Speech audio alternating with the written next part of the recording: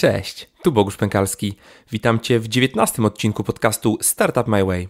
Dzisiaj moim gościem jest Radek Budnicki, podcaster, mentor i certyfikowany coach. Radek prowadzi jedne z najpopularniejszych polskich podcastów, czyli podcast Lepiej Teraz oraz Po ludzku o pieniądzach. Z Radkiem rozmawiamy o jego rezygnacji z korporacyjnej kariery i dyrektorskich stanowisk na rzecz powrotu do młodzieńczych marzeń. Rozmawiamy o filozofii stoickiej, o tym czym jest oraz jak bardzo może się ona przydać w dzisiejszym świecie, zarówno w życiu osobistym, jak i w biznesie. Poruszamy tematy minimalizmu, budowy lepszego życia oraz szczęścia. Radek opowiada również o swojej karierze podcastera, o tym, co daje słuchanie i nagrywanie podcastów i o tym, jak się z tego utrzymać, budując jednocześnie szczęśliwe, wolne i wspaniałe życie. Notatki do tego odcinka znajdziesz na startupmyway.com łamany na 19. Zapraszam Cię również do dołączenia do mojej listy mailingowej, szczególnie jeżeli myślisz o przejściu z etatu do własnego biznesu, albo już taki krok wykonałeś. Za jakiś czas będę miał dla Ciebie coś naprawdę fajnego i będąc na liście dowiesz się o tym jako pierwszy i dodatkowo dostaniesz specjalne bonusy niedostępne dla osób spoza listy. Można to zrobić na startupmyway.com łamany na lista. Link znajdziesz również w notatkach do odcinka w Twoim playerze podcastów e, lub gdzie tylko tego słuchasz. Także po prostu warto się zapisać już teraz. No i nie przedłużając, przed Wami Radek Budnicki. Cześć Radek. Cześć, cześć Bogusz. Witaj. Witam serdecznie. E, jak Ci mija dzień dzisiaj? No, przyjechałem akurat e, na wybory. Przyjechałem, bo dzień po chyba rozmawiamy, nagrywamy ten podcast. Nie tak, wiem, kiedy tak, będzie tak. publikacja. E, I przyjechałem do Białego Stoku, wiesz, żeby zagłosować. Jestem w moim rodzinnym domu, więc dobrze widzę się z moją mamą. No i bardzo się cieszę, że zostałem zaproszony przez Ciebie do Twojego podcastu. Bardzo mi miło. To wielki zaszczyt dla mnie. Dzięki. Dla mnie również. E, powiedz kilka słów o sobie, przedstaw się naszym słuchaczom. No właśnie, to jest ciekawe pytanie, bo ja często zadaję to pytanie moim gościom i, kiedyś, powiem Ci szczerze, jakieś 3 lata temu nie potrafiłbym odpowiedzieć e, na nie tak od razu. Y, albo po prostu podawałem stanowisko w pracy, a teraz w bardzo prosty sposób. Jestem podcasterem. to jest takie proste, prawda? Bo już możesz powiedzieć, tak, tak. że jestem, jestem podcasterem. A co to takiego podcastu? Oczywiście niewiele osób wie jeszcze niestety, co to podcasty, więc y, nie zabłyśniesz za bardzo w towarzystwie. No, trochę tak. No, no, i, trochę, i trochę tak patrzą na ciebie dziwnie, ale zdarzają się rodzynki, wiesz, osoby takie, które, o tak, słucham, coś tam kiedyś słuchałem, albo wiesz, zdarza się, coraz częściej ludzie słuchają, więc jestem podcasterem. Co jeszcze? Y, na stronie możesz przeczytać, że certyfikowanym coachem, y, mentorem, chociaż już coachingiem się nie zajmuję czynnie. Od roku już tego nie robię. Całkowicie poświęciłem się podcastowaniu, ponieważ prowadzę aż dwa podcasty i każdy publikuje co tydzień, więc w sumie robię dwa podcasty w tygodniu. Wow. I to zajmuje dużo czasu. Więc y, nie za bardzo zostaje wiele czasu na inne rzeczy. I utrzymujesz się z tworzenia podcastów? Tak, tak, tak, tak, utrzymuję się. Okej, okay, a powiedz, czym się zajmowałeś przed podcastami? Jaka, jak ta droga twoja mniej więcej wyglądała? Od czego to się wszystko zaczęło? Wiesz co, przed podcastami, wiesz co, tak naprawdę normalny chłopak, pojechałem na studia do Warszawy, studiowałem socjologię na UW, yy, potem jak każdy chciałem mieć yy, pracę w jakiejś firmie zachodniej, prawda, koledzy nam się chwalili, że mają już tam wiesz, jakieś stanowiska menedżerskie, więc bardzo chciałem być tym menager, nie, na, na wizytówce. Yy, i no wiesz, wysyłałem CV jak każdy normalny absolwent y, i wspinałem się po szczeblach kariery jako wiesz, szeregowy pracownik, jakiś specjalista do spraw sprzedaży, konsultant y, obsługi klienta. Y, pracowałem w różnych branżach tak naprawdę, w branżach IT, w branżach finansowych, przez to, że tak naprawdę cały czas szukałem swojej ścieżki, rozpoznawałem różne e, sektory, można powiedzieć, biznesu i dlatego wydaje mi się, że mam wiedzę po trochu, nie ekspercką, ale po trochu wiem, y, co się dzieje w różnych, w różnych, że tak powiem, właśnie dziedzinach biznesu. Wiesz, bo pracowałem w różnych. Pracowałem jako product manager w banku, byłem dyrektorem zarządzającym firmy inwestującej w instrumenty finansowe. Byłem dyrektorem zarządzającym spółki, która była konkurencyjna w stosunku do multisporta, czyli takie karty, wiesz, umowy z siłowniami. Zarządzałem też klubem e, fitness e, Żatomi e, w Złotych Tarasach. Byłem dyrektorem tego klubu. Co jeszcze? Przez kilka lat pracowałem w ambasadzie Izraela. To ostatnio zacząłem ujawniać, wcześniej nie chciałem o tym mówić, bo wiadomo, różny stosunek ludzie do, takiego, do, do tego mogą mieć. Pracowałem dla atasze wojskowego Izraela bezpośrednio. A jak się tam dostałeś? Wiesz co, y, takiej pracy się nie dostaje z ogłoszenia. Y, powiem tak. No tak, no domyślam y, się. Nie, wiesz co, ja mam wiedzę dość szeroką, jeśli chodzi o sprawy związane z wojskiem. Bardziej hobbystycznie, wiesz, taki chłopak, czytałem dużo książek, wiesz, szpiegowskich i tam jakichś wo wojen, wojen, wojennych historii Izraela miałem w małym poluszku. Poza tym zawsze interesowała mnie ta judaika, wiesz, i można powiedzieć, że wykorzystywano mnie, poza tym, że byłem po prostu y, takim zwykłym administracyjnym pracownikiem, wiesz, tam byłem kierowcą i przelewy robiłem, y, załatwiałem sprawy, nie wiem, kontaktu z polskimi oficerami, tłumaczyłem rozmowy na targach broni mojego szefa, y, co jeszcze, pomagałem w targilach, targile to są takie po hebrajsku, to się nazywa ćwiczenia, szabak to jest taki wywiad wewnętrzny Izraela, oni zajmują się ochroną e, delegacji e, za granicą. Czyli na przykład przyjeżdża minister obrony do Polski, no to zawsze ma ze sobą ochroniarzy, tacy, takich borowców, tak to no, opiszmy. Ja pomagałem im na przykład w ćwiczeniach, e, sprawdzałem ich, udawałem terrorystę, dostawałem za to pieniądze oczywiście. Musiałem się przebrać, wiesz, udawać sprzątacza. Zadaniem na przykład takiego gościa było, on nie wiedział, taki sprawdzany człowiek, że jest test robiony na nim. Chodziło Aha. o to, żeby cały czas y, ci y, ochroniarze byli czujni. Jeżeli na przykład on nie zapyta gościa przed sprawdzeniem terenu, na przykład y, przed synagogą, trzeba sprawdzić teren, czy nie ma bomby, prawda? On przeszukuje krzaki wszystkie, musi sprawdzić, czy w koszu na śmieci nie ma bomby. Ja udawałem sprzątacza, powiem ci jedną historię. Udawałem Aha. sprzątacza, byłem przebrany w też taki żółty, wiesz, ten kamizelkę żółtą, miałem miotłę własną z ambasady, miałem kosz na śmieci. No i według scenariusza zadania było, że tam bomba jest w tym koszu i tak naprawdę ten e, gość, ten agent musiał sprawdzić ten kosz. Ale on mnie ominął, słuchaj, i popełnił wielki błąd. Był filmowany z kilkuset metrów przez gościa, który przeleciał z Tel Awiwu, żeby go sprawdzić.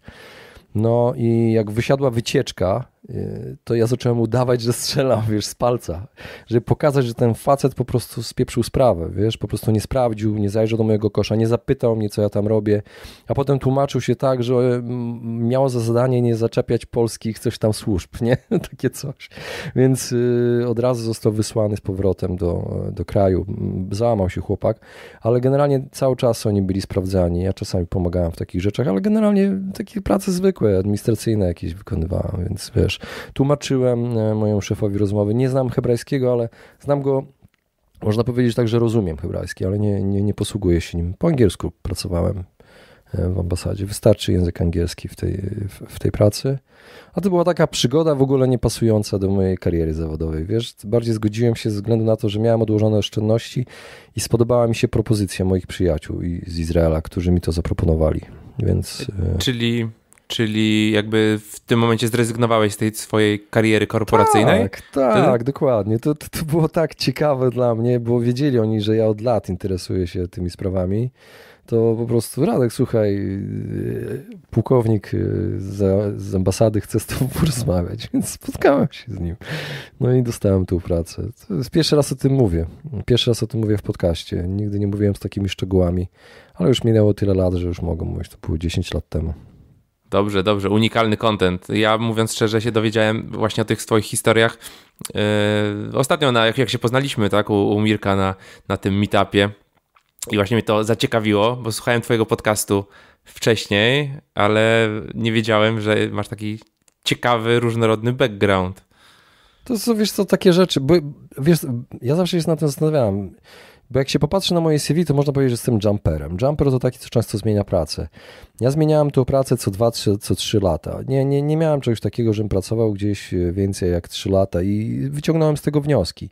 Wnioski polegały na tym, że yy, zaraz po maturze w Białymstoku miałem pracę, dostałem pracę y, dziennikarza lokalnego. Tak i wiesz, tam pisze, że y, skrzyżowanie będzie wyremontowane, dni krwiodawstwa w mieście. Rozumiesz o co chodzi? Takie, tak, tak. takie tematy lokalne y, albo znęcanie się nad zwierzętami, jakieś takie, wiesz, też takie wywiad z zespołem Wilki, bo przyjechały Wilki do miasta.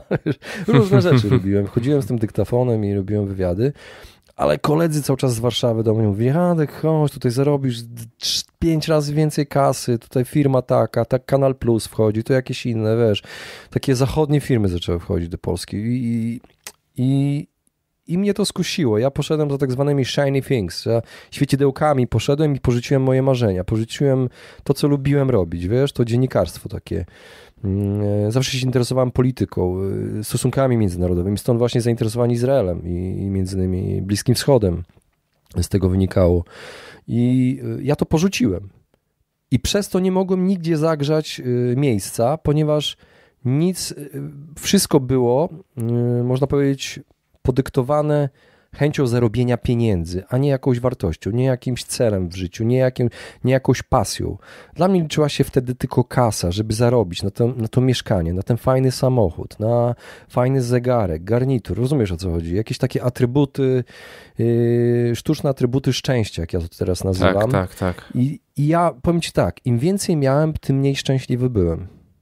Im wyżej byłem, tym więcej odpowiedzialności miałem, więcej stresu miałem, co pewnie przełożyło się po latach na, mo, na moje zdrowie, jak wiesz. I, i, I, zebrałem tego żniwo. I wydaje mi się, że to nie tędy droga. I, i przypadkiem całkowicie trafiłem y, przez to, że trzy lata temu stwierdziłem, że mam dość już pracy dla kogoś, mam dość robienia czegoś, co nie daje mi szczęścia, tylko jest tylko bieganiem za pieniędzmi. Po prostu stwierdziłem, że nie, pieniądze są ważne, ale jeszcze fajnie jest, kiedy zarabiasz dobre pieniądze, ale robisz to, kiedy to ma sens. Czyli na przykład jest jakiś cel, daje wartość ludziom. Albo kiedy y, jest związane z Twoją pasją, kiedy kochasz to, co robisz, a nie zmuszasz się do czegoś. Jeżeli teraz ktoś z Twoich słuchaczy słucha tego podcastu, tej rozmowy naszej i sobie myśli, kurczę, jak ja nienawidzę mojej pracy, ale ona daje mi, y, pozwala mi opłacić y, czynsz, prawda? I, i, i dać środki do życia mojej rodzinie, to ja go rozumiem. Ja nigdy nie powiem takiej osobie, słuchaj, idź rzuć, w ogóle wiesz, to mi to lotto, jak w tej reklamie. Yy, nigdy czegoś takiego. Przygotuj plan, pracuj dalej, odkładaj, ale zastanów się, czy możesz znaleźć alternatywę w tym czasie. Jaka alternatywę? Co cię pasjonuje? Zadaj sobie pytanie, zrób taki auto-coaching. I yy, można powiedzieć, nie, nie porzuć tej pracy od razu, bo musisz zarabiać na, na życie, tylko po prostu zacznij jednocześnie robić coś drugiego, co cię bardziej pasjonuje i potem znajdź możliwość zarabiania na tym. Proste. No właśnie, no właśnie. Myślę, że to jest taki spory błąd, co czasami ludzie rzucają się na głęboką wodę, nienawidzę pracy i nagle z dnia na dzień odchodzi, dobra i co teraz, tak? I tak, potem tak, po, tak, kończą tak. się pieniądze i trzeba wrócić do tej pracy i jest jeszcze gorzej. To, to takie romantyczne jest, wiesz, no, tak. Życiu, jak do filmu w ogóle, do scenariusza się nadaje. tak, tak, tak. E, no właśnie i mówisz, że jakby szukałeś tej, tej, tej swojej pasji, e, jakby skąd, skąd pomysł, żeby e, zacząć nagrywać podcasty? Przypadkiem, zupełnie przypadkiem. Tak jak pracując, można powiedzieć, że wstawałem wcześniej rano, miałem na dziewiątą, jechałem do centrum Warszawy, do biurowca, tam gdzie byłem dyrektorem i wstawałem o wiele wcześniej. Już o 6 rano byłem w kawiarni, miałem szczęście, że tam kosta była otwarta wcześniej. Siedziałem w niej i słuchaj, brałem notatnik i pisałem, co ja mogę zrobić. Wypisywałem sobie, po prostu taką mapę myśli robiłem to mnie interesuje. Blogowanie nie, nie za bardzo, kiepsko piszę, ale zdjęcia robię. Zacząłem zdjęcia robić. Wiesz, takie szukanie, takie sprawdzanie, wiesz, co mnie pasjonuje, jakie, jaka tematyka, przeglądanie blogów, przeglądanie vlogów, jakie treści ze mną rezonują, e, co ja mógłbym robić, jakie sposoby zarabiania. Czytałem książki o zarabianiu online. Zaczęło mi się podobać to, że ludzie zarabiają dzięki technologiom internetowym, że przeczyta, przeczytałem książkę Tima Ferrisa, 4 godziny tydzień pracy, przeczytałem już ją dawno temu, wiesz, już 7 lat temu była pierwsza wydanie, ale wtedy jakoś do mnie nie przemówiła. Byłem na etacie i jakoś tak sobie, a to nie, to nie Polska, nie polska technologia, to już. Ale on wznowił tą książkę, kupiłem wznowioną jeszcze raz ją przeczytałem i stwierdziłem, kurczę, można, wiesz, zarabiać na dropshippingu, można zarabiać na konsultacjach, można zarabiać na wiedzy. Wiedza podróżuje przez internet, y, za wiedzę można dostać pieniądze. Y, niedługo wszystko będą za nas robiły wiesz, roboty praktycznie, wiesz, androidy, wszystko będzie tworzone. Człowiek będzie mógł już tylko tworzyć to, co stworzy z własną wiedzą. Będzie wymiana wiedzy i na tym będzie się zarabiało pieniądze. Więc pomyślałem sobie, że warto wejść w ten sektor internetu. Zacząłem się interesować marketingiem online. Zacząłem zastanawiać się, jaką ja mam wiedzę ekspercką. No i zacząłem szukać. Szukać a nie chciałem wydawać pieniędzy na jakieś tam kursy tego, więc zacząłem szukać darmowych kursów w mieście, różnego rodzaju spotkań, warsztatów. A jest takich mnóstwo, okazało się, wiesz. Siedziałem e, po południu, po pracy chodziłem do Idea Hubu, tam takie darmowe biurka są, gdzie można wydrukować kawę, wypić i popracować. Zacząłem przeglądać jakieś blogi, notatki robiłem, tłumaczyłem różne artykuły sobie, żeby się uczyć tego wszystkiego. Wyszukiwałem eventy na Facebooku, na Evenea wyszukiwałem eventy, jak wiesz, są płatne i bezpłatne. Spotkania blogerów, meetupy, aż w końcu trafiłem na taki w Google Campus, y, który dotyczył podcastingu. Nazywał się Polcaster, konferencja Polcaster 2016. No i poszedłem tam. No i po, po pół godzinie y, wysłuchałem chyba wykładu Vasqueza. Y, tak, tak, tak. Y, Michał Vasquez Plewniak z podcastu Ichuan Tichuan. Pozdrawiam Michała. On opowiadał coś tam i jeszcze były wystąpienia innych osób, tam w kuluarach porozmawiałem z kilkoma osobami i 10 dni później pierwszy podcast opublikowałem.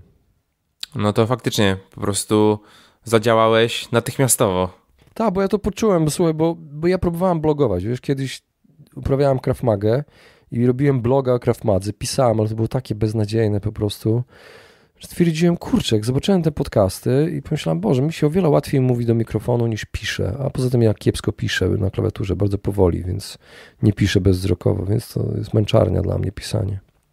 Tak i w ogóle pisanie wydaje mi się dużo bardziej czasochłonne, jednak jak nagrywasz, włączasz po prostu, no musisz mówić, no nie możesz przerwać, możesz powiedzmy potem jakieś cięcia zrobić, no ale w granicach rozsądku, a tekst możesz dopieszczać po prostu tygodniami, miesiącami. Mhm. Zgadzam się.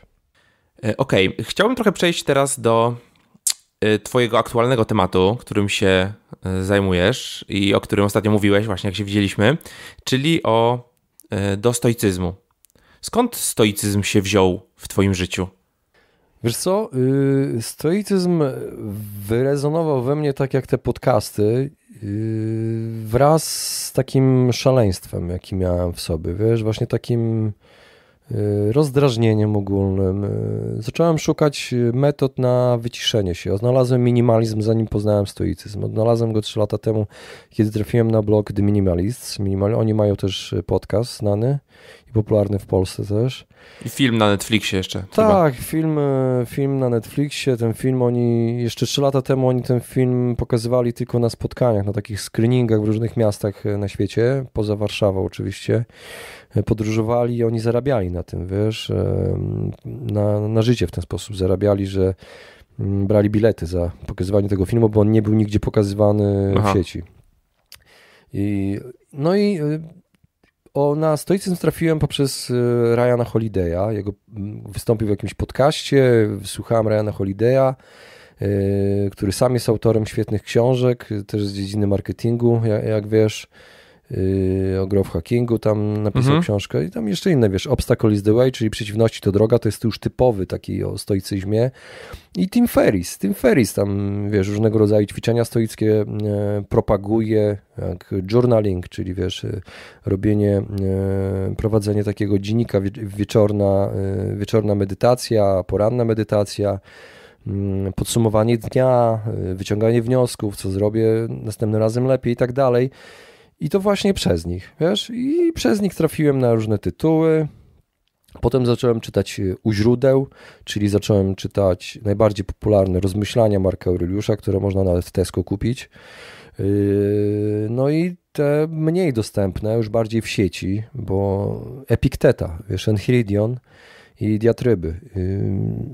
Tego jest o wiele więcej, wiesz, są pisma Seneki młodszego, Cycerona i, i tego jest dużo, czyli po prostu tych starożytnych y, pierwszych tych stoików, no można powiedzieć, y, zacząłem czytać, ale opracowania też. No i, no i bardzo mi się spodobało w stoicyzmie właśnie to, że y, Stoicyzm to w ogóle bardzo szeroka filozofia, bo, ale mnie zainteresowało tylko jeden wycinek tej filozofii, czyli etyka. Takie podejście do życia, do człowieka. Yy, bo etyka stoicka opiera się na takiej zasadzie osiągania szczęścia. No a każdy z nas chce być szczęśliwy, to naturalne. Yy, I to szczęście według nich osiąga się poprzez taką dyscyplinę moralną, wiesz, poprzez takie sumienne spełnianie obowiązków, yy, które mamy codziennie, że wstajemy rano, musimy iść do pracy i, tak dalej. Stoicy uważają, że tak powinno być. Yy, poprzez odcięcie się emocjonalne od takich zdarzeń zewnętrznych, które mają na nas negatywny wpływ, na przykład poprzez y, utrzymanie stanu takiego spokojnego szczęścia. I to niezależnie od y, tego, co ci się w życiu przydarzy. Wiesz, a różne rzeczy nam się w życiu przydarzają. I y, stoicyzm właśnie pomaga nam jakby uodpornić się na to. Można powiedzieć, stworzyć taką skorupę obronną. Ja bym tak to nazwał. Wiesz, stoicyzm praktykowali bardzo znani ludzie w historii. Fryderyk Wielki podobno miał przy sobie Enchiridion Epicteta przy siodle woził. Podbijał Europę. E, George Washington, Adam Smith, Immanuel Kant, Thomas Jefferson z tych ojców założycieli e, Stanów Zjednoczonych, Theodore Roosevelt, Bill Clinton.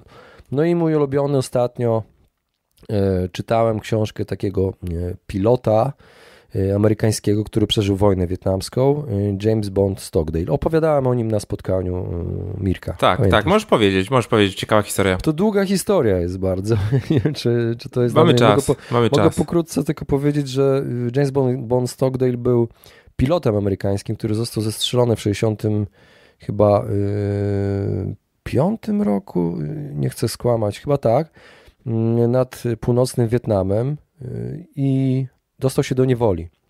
A że wcześniej e, studiował na Stanford, interesował się filozofią i profesor jego Rynelander dał mu na pożegnanie, kiedy on już wracał do wojska, a był oficerem już wysoko postawionym na tym lotniskowcu, dowodził e, całą eskadrą e, samolotów, dostał od niego mm, jedną książkę filozoficzną z wielu, które czytał i obrabiał. Powiedział, że tylko jedna ci się przyda w tej armii. To będzie Enchiridion Epicteta. I on, y, ten Iridion ze sobą miał na lotniskowcu USS Oriskany i leciał Skyhawkiem nad Wietnamem, został zestrzelony. I jak kiedy został zestrzelony, spadł na spadochronie, to już wtedy powiedział sobie takie zdanie, to w książce jego przeczytałem, że właśnie ze świata technologii y, wpadam, spadam do świata Epikteta. W momencie, jak uderzył w ziemię, w ciągu 15 minut został dorwany przez wieśniaków, pobity, złamano mu nogę, to był właśnie świat Epikteta. Epiktet w ogóle, y, ten filozof był niewolnikiem i jego pan mu złamał nogę, co, co, co jest nomen omen.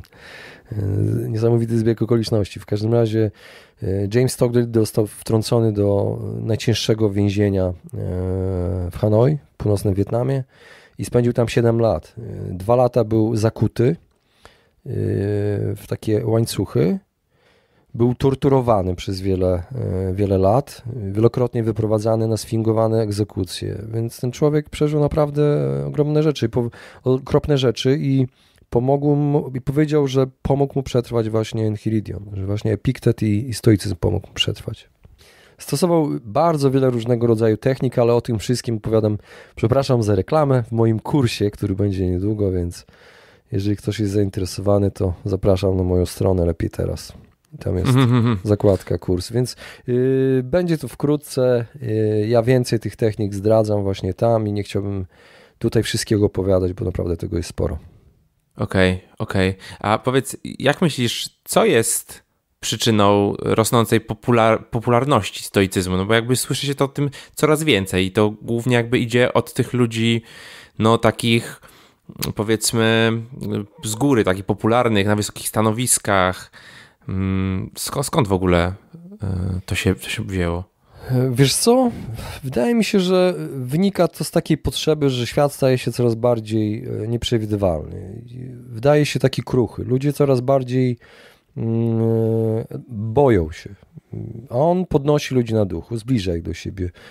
I, i przypominam nam, że bardzo jesteśmy zależni właśnie od naszych tych impulsów, zmysłów, a nie od logiki.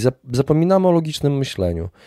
Yy, uczy, jak być nas, yy, uczy nas, jak być wytrwałym, jak być silnym, jak kontrolować siebie przede wszystkim yy, w trudnych sytuacjach, jak przygotować na te trudne momenty i jak jakieś przeciwności losu, które nam się przydarzają, właśnie jak w tym tytule Ryana Holiday Obstacles the Way, jak ćwiczyć cnoty. Czyli na przykład yy, stoicy ja na przykład marzę o takim świecie, gdzie rządzą te cnoty stoickie. Ja może wymienię te cnoty, wymieniałem na tym wystąpieniu. To była mądrość, odwaga, sprawiedliwość i samokontrola. Mądrość według nich to jest taka doskonałość yy, w rozumowaniu nie? i takim osądzie. I taki mm, modelem człowieka według nich był taki mędrzec, który żyje zgodzie z naturą, kieruje się rozumem. Odwaga to w pewnym sensie taka odporność i jak radzić sobie z różnego rodzaju zagrożeniami. Sprawiedliwość to jest e, taka doskonałość w naszych relacjach z innymi ludźmi, dobra ocena, e, nie wiem, twoich znajomych, tego co powiedzieli i tak dalej. No i samokontrola, która bardzo mi się podoba, to tutaj umiejętność właśnie radzenia sobie z emocjami, pragnieniami, z takimi trudnymi sytuacjami w życiu, jak choroba, choć, chociażby śmierć e, kogoś bliskiego, albo inne rzeczy o wiele bardziej delikatne, ja bym tak to nazwał. I wyobraź sobie, że jak ja to przeczytałem, zobacz ile rzeczy zahacza o każdą dziedzinę naszego życia tutaj w stoicyzmie. Ja się nie dziwię, że to interesuje ludzi, ponieważ kiedy jesteś takim władcą albo politykiem, to wyobraź sobie, ile ty masz, z iloma problemami musisz się zderzyć. Ile ludzi chce się ciebie pozbyć, ile, mhm. i, ile osób cię atakuje, no, skala, wojny, wiesz, tam, ja mówię o tych dawnych czasach, wiesz, były wojny, po prostu świat był okrutny. I, I żeby się odnaleźć w tym takim okrutnym świecie, przecież w starożytnym Rzymie nie znałeś dnia ani godziny, tak naprawdę. Kiedy taki rządził Neron albo jakiś inny Caligula, no to przecież ludzie na wysokich stanowiskach y, byli ścinani co jakiś czas, albo rzucani lwom na pożarcie. I, I stoicyzm pomagał im przetrwać. No taki Seneca chociażby został zmuszony przez Nerona do popełnienia samobójstwa i popełnił to samobójstwo na jego rozkaz. Hmm. Ale to jest ciekawe, wiesz jeszcze, że stoicyzm uprawiali ludzie z różnych, y, można powiedzieć, takich y, drabin społecznych, można powiedzieć. Y, tak jak Epiktet na przykład był synem niewolnicy i był niewolnikiem sam, potem został wyzwolony przez swojego pana po śmierci Nerona, ale znanym stoikiem był Marek Aureliusz, cesarz rzymski który czytał też e, e, Epikteta, ale sam pisał, napisał piękne rozmyślania, które przetrwały zupełnie przypadkiem, bo on pisał do siebie swoje rozmyślania, ale ktoś zamiast je mm, spalić, tak jak zażyczył sobie e, cesarz Marek Aureliusz, zachował to. Na szczęście dla nas.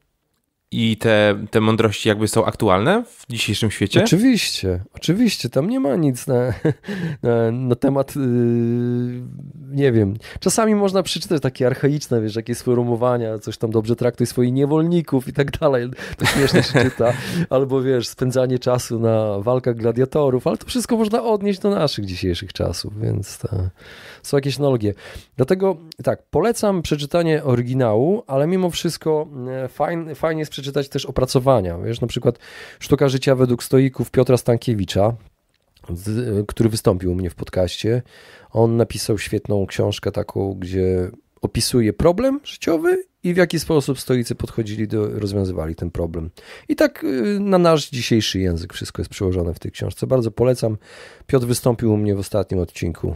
Y, w czwartek puściłem był na Stoikonie, bo to jest taka konferencja, która odbywa się co roku w krajach no anglosaskich.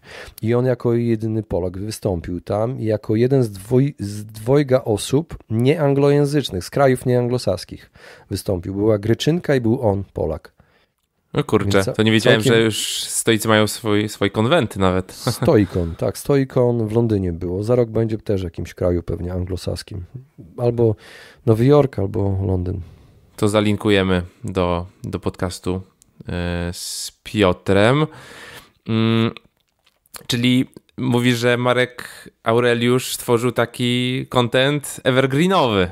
Taki tak, po prostu tak, ale to marzenie dla blogerów. Siebie, wiesz, to były dla siebie rozmyślania, yy, obracające się tak naprawdę wokół kilku yy, takich myśli, przemyśleń, wiesz, na temat kontroli, na temat rzeczy, których nie kontrolujemy, yy, na temat właśnie przeciwności, jak je traktować i tego typu rzeczy, ale opisane w różny sposób na różnych przykładach. Podobnie jest u Epikteta. A czy stoicyzm pomaga w biznesie? Wydaje mi się, że pomaga w biznesie. Wydaje mi się, że pomaga w biznesie, bo chociażby jest taka technika, y, z którą opisał Ryan Holiday. To nie są y, moje odkrycia, ale to z książki Ryana Holiday'a. Pamiętam, y, że jest taka technika primortem, używana przez zarządy firm z listy Fortune 500, gdzie na zarządach stosuje się technikę, gdzie przewiduje się tak zwane fuck-upy naprzód. Czyli powiedzmy, wychodzi nowy model telefonu komórkowego, nowego iPhone'a, zbiera się zarząd i zastanawiają się, słuchajcie, robimy premierę, jest 1 września, wystąpienie i nagle wypisujemy teraz tutaj na dzisiejszym spotkaniu, co najgorszego może się wydarzyć. John, co najgorszego może się wydarzyć? E, padnie prąd. Ok, to co załatwiamy? Agregat. List, nie wiem, e, dostawy padną, no to zastanówmy się, jak rozwiązać sprawy, jeżeli firma, która będzie robiła dostawy, e, zrobi fuck up. Rozumiesz, o co chodzi? E, tak, tak. przygotowują się firmy na najgorsze, czyli robienie takich list, a potem, kiedy wypisuje się te rzeczy, robi się od najbardziej poważnych do najmniej poważnych i znowu spotyka się ten zarząd i y, rozwiązania są przedstawiane, czyli każdy rozchodzi się do swoich działów, szuka tych rozwiązań, robimy kolejny zarząd i każdy dyrektor y, działu przychodzi z rozwiązaniami po burzy mózgów wewnątrz swoich działów. Jak rozwiążemy sytuację? W ten sposób, myśląc negatywnie, pomagamy przygotować się na najgorsze. I dobrze reagujemy, kiedy dzieje się coś takiego. Kiedy shit hits the fan, jak to mówią Amerykanie. No tak, no tak, czyli no tak, to też właśnie taka technika, którą Tim Ferris y, rekomenduje, tak, że jeżeli się czegoś boisz, to po prostu wypisz coś, co się najgorszego może stać i... Ale to jest właśnie technika stoicka i Tim Ferris też tak. to pisze, że to od stoików wziął.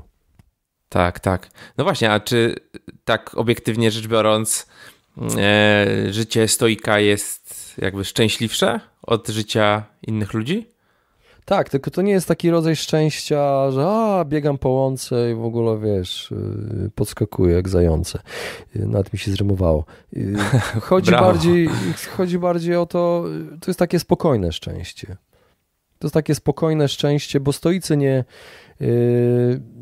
nie są zwolennikami ani takiej, wiesz, egzaltacji, tak bym to nazwał nie uważają, żeby egzaltacja była też e, zdrowa dla człowieka. Czyli taki spokój, opanowanie, yy, równowaga, tak bym to nazwał. A czy to nas nie obdziera trochę z empatii? Yy, empatii? A yy, zastanówmy no w sensie, się... Że... Mhm. Ja wiem, ja wiem o co chodzi, ale zastanówmy się na przykład w takiej sytuacji, co jest dobre tak naprawdę. Czy stoicy są bardzo pragmatyczni. Oni uważają, że uważają, że na przykład lepiej jest działać niż coś pokazywać, tylko że się działa, albo że ma się emocje. Zamiast pokazywać emocje, to lepiej kogoś wesprzeć, niż tylko pokazywać, że się przejmuje. O jejku, jak strasznie, że coś tam ci się wydarzyło.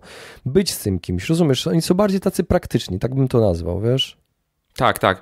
No ja też jakby, jakby identyfikuję się z taką praktyczną, pragmatyczną stroną, ale często, nie wiem, na przykład z, ze strony innych osób, na, na, przykład często kobiet, one mówią, że one muszą, że one nie potrzebują rady twojej, tak, tylko chcą, chcą żebyś ty je, wiesz, wysłuchał, no i powiedział, o jaka ty jesteś biedna, nie?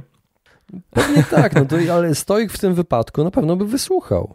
No przecież to nie, stoik to nie, właśnie ludzie bardzo mylą stoicyzm z jakimś takim, nie wiem. Wypraniem z emocji zupełnie. trochę, nie? Tak, nie, nie, to jest bardziej podejście rozumowe, obserwacja swoich emocji i próba zrozumienia swoich emocji. To chodzi o to, dlaczego ja się tak czuję, dlaczego ja czuję strach, z czego wynika strach, czy mój strach jest yy, uzasadniony, co mi da mój strach co dobrego wyjdzie z tego strachu? Co dobrego wyjdzie z tego, że ja będę uderzał w stół, krzyczał i płakał w niebogłosy? Rozumiesz, o co chodzi? I, tak, tak. Bardziej, bardziej takie podejście e, wydaje mi się, że jest e, stoickie. Tak, tak, tak. Jest, jest ono mi dosyć, dosyć bliskie. No też tak staram się w ten sposób postępować. No wiesz Może co? trochę nieświadomie. Stoicyzm przydał mi się najbardziej w momencie, kiedy ja dowiedziałem się o nowotworze, wiesz, i gdyby nie te książki, które przerzuciłem przez siebie, przez swoją głowę, to po prostu ja pewnie załamałbym się. Mhm. Dlaczego ja? Pierwsze pytanie. Co ja takiego złego zrobiłem? A dlaczego nie ja? Żyjemy w takim świecie, gdzie wydaje nam się, że tylko ci ludzie, co w telewizji oglądamy albo w internecie mają coś złego. Ale przecież my też możemy być tymi ludźmi z telewizji, z tego internetu równie dobrze. I to jest stoickie podejście. Co ja z tego będę miał, że ja będę leżał, płakał? Ja zamieniłem ten strach na działanie. Zacząłem szukać lekarzy, zacząłem szukać specjalistów, zacząłem zastanawiać się nad e, klinikami, nad metodami. Przestudiowałem, wiesz, wszystko na temat nowotworu, który, o którym się dowiedziałem, że mam. No i zacząłem działać. Ja y, dzięki stoicyzmowi, można powiedzieć, w jakiś sposób przetrwałem ten najgorszy moment do operacji i jeszcze potem po diagnozie, że dowiedziałem się, że był złośliwy niestety. I wiesz, i teraz będę musiał zmierzyć się z tym y, wyzwaniem co pół roku, kiedy będę miał tomograf robiony. Żeby sprawdzić, czy nie ma przerzutów, czy tam się, wiesz, y, nic nie wróciło. Rozumiesz, o co chodzi? Tak, tak. I, i, i tylko takie podejście może może pomóc. Te, to w jakiś sposób racjonalne rozumienie tego, bo przecież ten tomograf jest dla mojego dobra. Bo jeżeli wykryją, to dlaczego wykryją? Dlatego wyk po to wykrywają, po to, żeby, nie po to, żeby mnie zmartwić, tylko po to, żeby y, to usunąć wcześniej. Po to to no tak. jest. Tak. No tak, żeby ci pomóc. No. no tak, ale na poziomie nieracjonalnym to to jest strach, to jest płacz, wyrywanie włosów i, i załamywanie się i winienie, nie wiem, całego świata za nieszczęścia, Boga, kogokolwiek jeszcze. Wielu ludzi w różny sposób reaguje na tego typu wiadomości. Ja też idealnie nie reaguję. Ja też nie jestem super e, hiper zen, wiesz, mnich, który siedzi. E, miałem chwilę załamania, ale ja nie jestem stoikiem. Ja jestem osobą, która bardzo chciałaby być stoikiem. To jest ciągła praktyka. To jest ciągła praktyka. Słuchaj, to jest, łapiesz się yy, na koniec dnia, że tutaj nie zareagowałeś stoisku, tutaj nie zareagowałeś po stoicku i mówisz sobie wieczorem, następnym razem powinienem tak zareagować, albo tak zareagować, albo dzisiaj będę ćwiczył sprawiedliwość, czyli sprawiedliwą ocenę ludzi, tego, relacji z nimi, jak oni coś powiedzieli o mnie, albo nie powiedzieli, coś zrobili, czy ja dobrze ich oceniłem. Będę ćwiczył opanowanie, czyli tutaj nie wkurzę się, kiedy ktoś mnie nadepnie na nogę w tramwaju. Rozumiesz, o co chodzi? To, cały czas stoicyzm można ćwiczyć i sobie robić takie ćwiczenia na każdy dzień. Jest bardzo fajne. Polecam. A jak byś zastosował mm, tą filozofię stoicką na przykład w kontekście, nie wiem, hejtu w internecie? Czyli ktoś cię zaczyna hejtować, wiesz, wypisuje jakieś różne rzeczy o tobie. Jak można zastosować tą technikę? Wiesz co? To, to jest niesamowite, że my yy, dajemy tak naprawdę pierwsza rzecz to jest dychotomia kontroli według Epikteta, czyli dzielimy rzeczy na te, które kontrolujemy, tych, nie, których nie kontrolujemy. Nie kontrolujesz tego, co inni ludzie czują, co inni ludzie myślą. I powiem Ci tak, niezależnie od tego, jak będziesz dobry, niezależnie od tego, co napiszesz, co nagrasz, jak dobrze to nagrasz, zawsze się znajdą ludzie, którym się to nie spodoba. I to nie dlatego, nie ze względu na Twój content, tylko ze względu na ich stan emocjonalny. A to jest rzecz, na którą Ty nie masz wpływu, nie znasz tych ludzi, nie masz z nimi relacji. Więc próba zadowolenia y, innych ludzi to jest y, Twoja strata czasu. Rozumiesz o co chodzi? I to jest właśnie stoickie. Nie możesz przejmować się rzeczami, na które nie masz wpływu, według stoików bo y, nie masz wpływu na to, co inni ludzie czują i co inni ludzie myślą. E, według stoików, właśnie tych starożytnych, nawet w jednym procencie, jeżeli na coś nie miał, to, to nie masz zupełnie e, wpływu. Rozumiesz o co chodzi? To tak, jest tak, tak. że mam trochę, a wiesz, mogę się lepiej ubierać, lepiej się wysławiać, to będę miał wpływ. Nie, to nie tak. U nich, jeżeli na, nie masz wpływu, bo ci ludzie gdzieś się wychowali, mają jakieś problemy ze sobą i tak dalej, mm, to próba zadowolenia wszystkich to jest y, syzyfowa praca strata Twojego czasu, energii, nerwów. To jest pierwsza rzecz. To jest podstawowa rzecz. Czyli się po prostu nie przejmować. Tak, nie, po prostu się nie przejmować tym, co inni pomyślą. To ja wiem, że to jest, brzmi banalnie, ale kiedy zastanowimy się nad tym, yy, to jest niesamowite, bo przecież yy, druga rzecz, drugie fajne ćwiczenie, yy, to Marek Aureliusz, pamiętam, napisał, że my często, y, my często oceniamy innych ludzi albo my boimy się oceny innych ludzi, a tak naprawdę my sami też oceniamy często innych ludzi. zrozumieć ten mechanizm i po, pomyśleć sobie o tych ludziach, którzy nas krytykują, że, yy, że my jesteśmy tacy sami, oni nie są aż tacy źli. Ci ludzie nie są aż tacy źli, bo my też popełniamy takie błędy. Jeżeli nie teraz, to kiedyś popełnialiśmy takie błędy, oceny innych, może kiedyś też kogoś zhejtowaliśmy, napisaliśmy jakiś komentarz. Wiesz, jak ktoś pisze na otwartym e, tekstem na Facebooku komentarz, który cię poucza, to według mnie nie jest, e, nie jest to pouczenie e, merytoryczne. Chodzi o to, żeby wykazać twoją ignorancję. Jeżeli ktoś napisze prywatnie, to co innego. Rozumiesz, o co chodzi? Tak, tak. Bo, bo tutaj tak naprawdę jest po, takie protekcjonalne potraktowanie. Wyobraź sobie teraz... Yy, Bogu, że ja ciebie, że ja tobie pod twoim podcastem piszę mm, w komentarzu, Bogu, słuchaj, super, ale ty tutaj to robisz, tam to robisz i piszę to w komentarzu. No wyglądam na takiego, wiesz, protekcjonalnego dupka, za przeproszeniem, który uważa siebie za kogoś lepszego. Jeszcze cię pouczam na oczach twoich słuchaczy. A co innego, kiedy ja ci napiszę prywatną wiadomość, słuchaj, Bogusz, tutaj wiesz, szumy można usunąć tak i tak, to zupełnie inaczej do tego podejdziesz, prawda? Jasne. Jasne, I w ten oczywiście. sposób można też wyczuć intencje takiej osoby. No, wiesz, jeżeli ona mówi, że robi to dla twojego dobra, dobra, to, to, to jest bullshit totalny.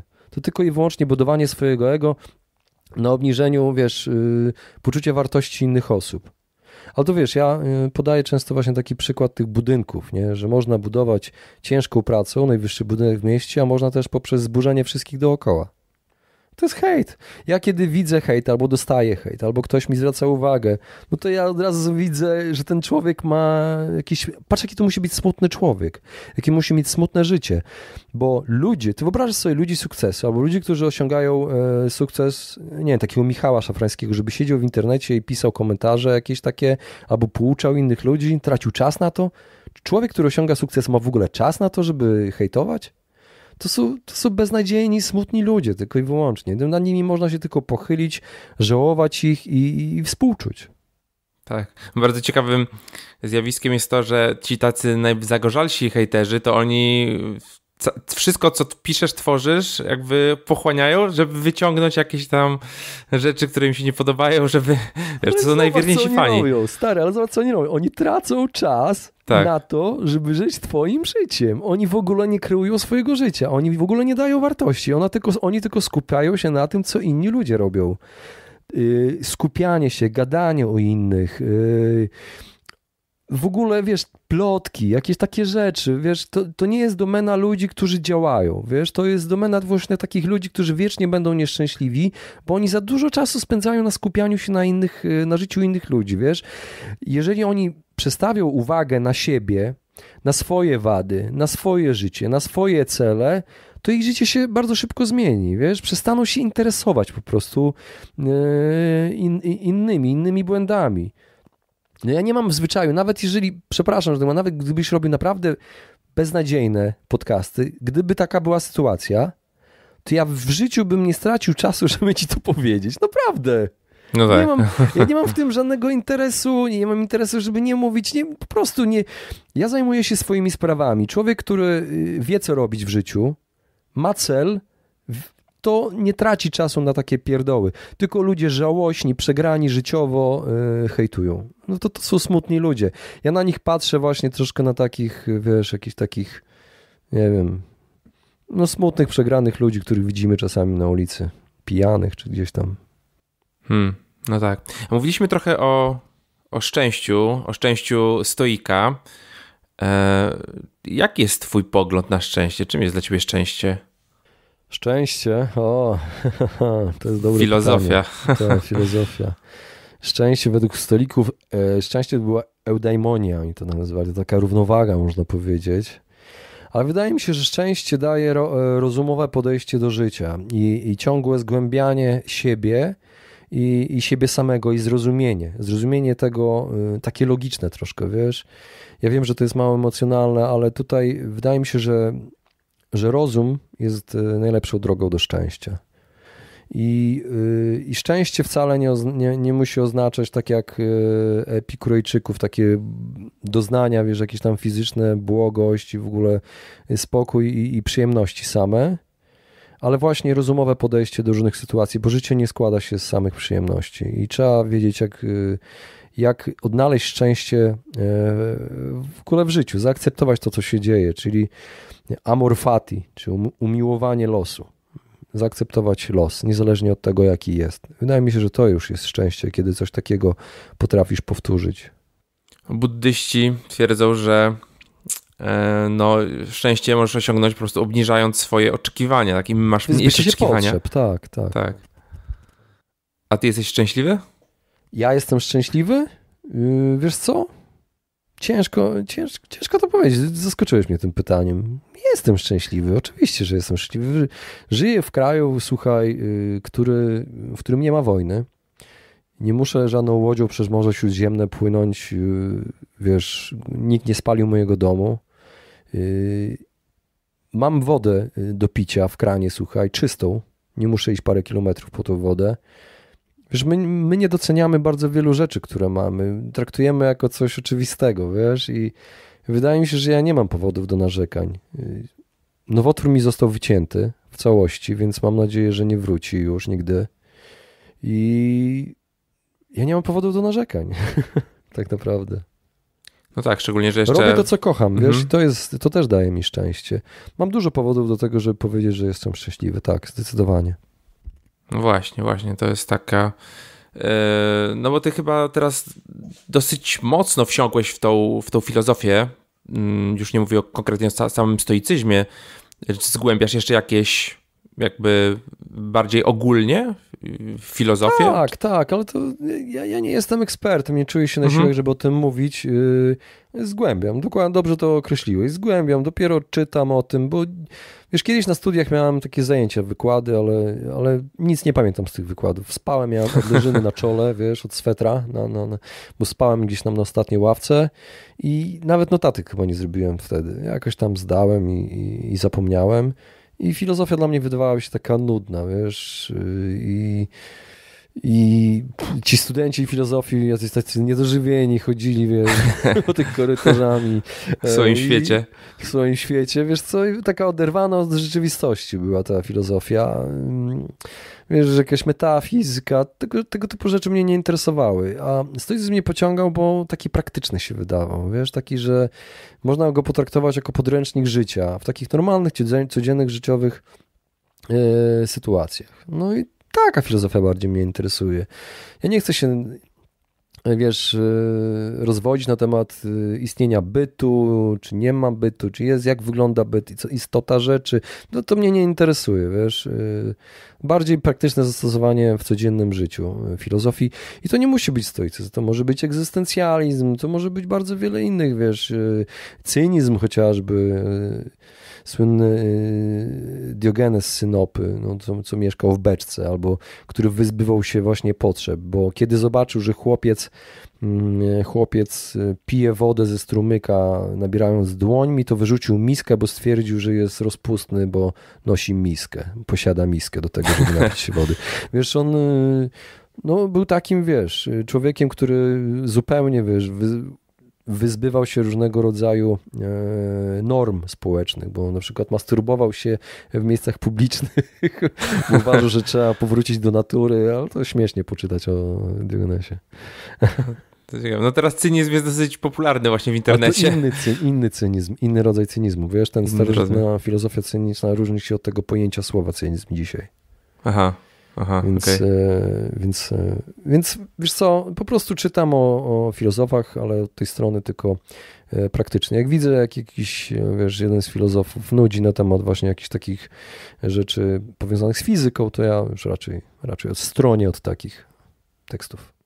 Okej, okay, okej. Okay. Yy, patrzyłem na twojej stronie i gdzieś tam wyczytałem, że na przykład między innymi w swoim podcaście mówisz o tym, jak żyć lepiej. Możesz zdradzić nam jakiś taki, e, jakieś takie filary tego lepszego życia? Jak żyć lepiej? Kwestionować. Kwestionować siebie. Zauważ, że jak często ludzie wypowiadają różnego rodzaju frazesy, nie zastanawiając się, z czego te frazesy się wzięły, jak y, często y, mają różnego rodzaju opinie na różne tematy. Przestać być takim mm, pewnym tego, co się mówi, wiesz Czyli krótki sposób na końcu zdania oznajmującego stawiać znak zapytania. czy rzeczywiście ta osoba y, jest głupia. Czy rzeczywiście y, mnie nie lubi ktoś tam. Rozumiesz, o co chodzi? Nie wypowiadać takich, takich ogólnych frazesów z taką totalną pewnością siebie. Ja Przyznam ci się, że nie przepadam za, za, rozmową z osobami, które w mojej obecności mają takie silne dogmaty i mówią, że coś na pewno jest, czegoś na pewno nie ma, yy, to jest, ten jest głupi. Rozumiesz, co chodzi? Tak, tak. Ja, ja, taka, taka doza niepewności, taka doza yy, braku zaufania do samego siebie jest cenna, wiesz? Yy, bo nie jesteśmy nieomylni i powinniśmy wszystko kwestionować i sprawdzać. To, czyli takie stoickie podejście rozumowe. Rozumiesz, o, o, o czym mówię? To jest, e, to jest bardzo ważna rzecz. E, ważne jest uwolnienie się od opinii ludzi. To jest rzecz. Nie szczycenie się rzeczami, które nie są twoje. No, mnie przerażają ludzie, którzy chodzą dumni z tego, e, z jakim kolorem skóry się urodzili i w jakim miejscu, w jakim kraju, w jakim narodzie. No, po prostu mnie przeraża. Wiesz, budowanie poczucia własnej wartości na rzeczach, na których się nie zasłużyło. Samemu. Rozumiesz o co chodzi? Bardziej chodzi mi, doceniam ludzi, którzy sami zbudowali poczucie własnej wartości na własnych osiągnięciach, a nie podpinają się. Według mnie takie podpinanie się, wiesz, ci nacjonalizm, ten mnie po prostu radzi. To są słabi ludzie. Słabi ludzie, którzy poszukują na siłę siły, jakiejś takiej złudnej siły i to takiej, bym powiedział, złowieszczej siły. Nienawistnej do innych narodów, do innych nacji, innych, innych ras. To jest bardzo mi obce. Nacjonalizm. Mm, i, I można powiedzieć, że jest to moją misją walka z takimi ludźmi. O, tu przyznam się. Mhm. No tak, to jest jakby taka potrzeba um, zbierania się w, w grupy. ludzi słabych, tak? wiesz, to jest potrzeba, e, nacjonalnie to jest potrzeba ludzi słabych, którzy szukają e, siły właśnie w takich tych, to, słabi ludzie też reagowali na, na, na, na przekaz właśnie pełen patosu, który miał w sobie Hitler. To był sam patos, tam nie było żadnej logiki, logosu tego potrzebnego w tego jego retoryce. Był tylko i wyłącznie patos, tylko rozemocjonowanie, emocje. Oni są winni, Żydzi są winni, ci są winni, tamci są winni, Polacy yy, są pod ludźmi, ci są pod ludźmi. Rozumiesz o co chodzi? Nie było tam tak, tak. Yy, żadnej logiki, żadnej mądrości w tym. Były tylko emocje, było tylko obwinianie, było tylko agresja, nienawiść i to, yy, i to, i to trafiło. I to, jest, i, to, I to jest przerażające, że ludziom niewiele potrzeba. A, a stoicyzm właśnie stawia na takie rozumienie. No, no stoika nie przekonałby Hitler raczej. To tylko ludzi, którzy nie myślą, wiesz, to ludzi, którzy za bardzo oddają się emocjom. Dlatego stoicy tak krytykują emocje, bo my za bardzo ufamy tym emocjom, powinniśmy ufać rozumowi. Mhm. A emocje mhm. potrafią być bardzo uh, zwodne. No tak. A powiedz mi, mm, czy w ogóle stoicyzm po, może pomóc nam na przykład w jakiej, jakimś takim motywowaniu się, inspiracji, no bo jednak takie rzeczy są związane jakby trochę z emocjami, tak? E, a tutaj jakby no, patrzymy, patrzymy racjonalnie i zastanawiam się, czy jesteśmy w stanie w jakiś sposób zastosować stoicyzm do motywacji. Stoicyzm do motywacji. Hmm. Tak, no bo wydaje mi się po prostu, że jest ta, ta motywacja, inspiracja, te, tego typu powiedzmy działania, e, do tego są potrzebne pewnego rodzaju emocje, ale może się mylę. Wiesz co, y, no, człowiek jest osobą emocjonalną, ale, y, ale wydaje mi się, że y, można to, te emocje, świetnie, bo emocje, czyli entuzjazm, tak? Czyli, że jesteś entuzjastycznie do, entuzjastycznie do czegoś podchodzisz, tak, jak najbardziej. No, ja już entuzjastycznie podchodzę, kiedy widzę książki o stoicyzmie w, w księgarni, łapię się na tym i, i powiem ci szczerze, że nie można popadać w taką skrajność też, wiesz.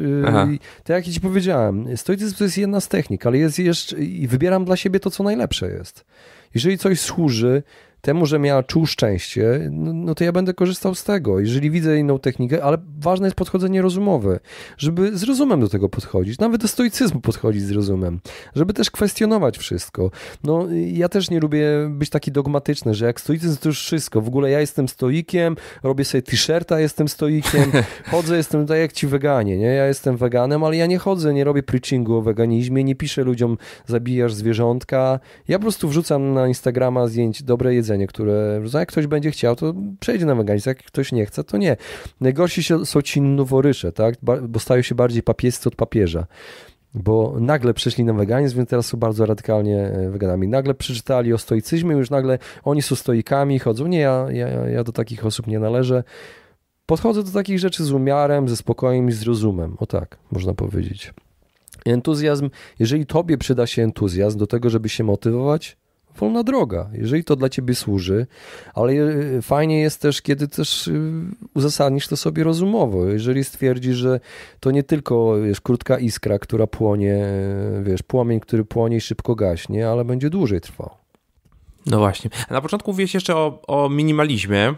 Jak ten minimalizm się przedstawia w Twoim życiu? Czy to jest kwestia tego, że po prostu masz mało rzeczy, czy jest to bardziej złożone? Ja wiesz co, ja zauważyłem, przyłapałem się na tym, że kiedyś moje życie spędzałem w galeriach handlowych, bo nie wiedziałem, co ze sobą zrobić po pracy. A że moje życie polegało na zarabianiu pieniędzy, więc trzeba było te pieniądze wydawać. A że nie znało się innego sposobu na osiągnięcie szczęścia, więc pacyfikowało się siebie, swoje myśli, swoje lęki, swoje depresje i odwracało się uwagę od tego prawdziwego, prawdziwego życia i problemów idąc do galerii, gdzie jest dużo bodźców. Można kupić coś, a może będę ładnie w tym wyglądał, a może będę się lepiej czuła jako mężczyzna, a może ten gadżet za, zabierze i za, spali i zabije trochę mojego czasu, który jest beznadziejny, do niczego nie prowadzi, poza zarabianiem pieniędzy. Rozumiesz o co chodzi?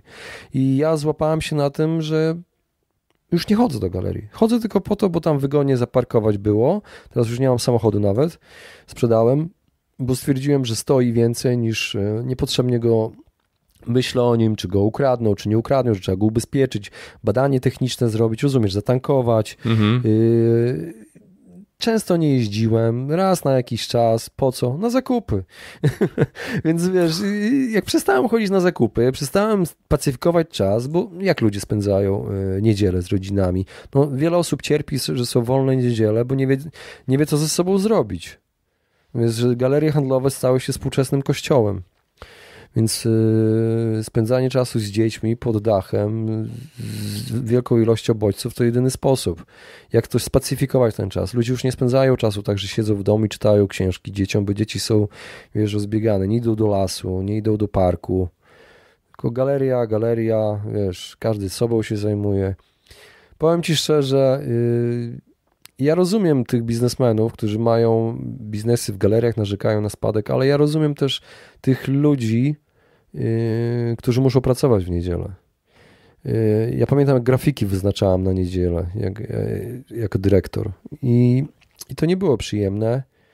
I ja uważam, że taka niedziela wolna jest dobra. I, i to nie mówię, to nie ma nic związane z moimi poglądami politycznymi, absolutnie.